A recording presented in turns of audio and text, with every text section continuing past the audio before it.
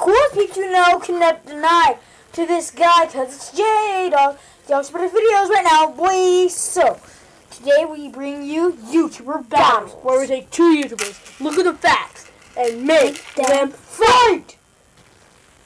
Not really, guys. Yeah, not really. In this video, we're going to be looking at Michael Hickox films versus Versus! the LEGOers.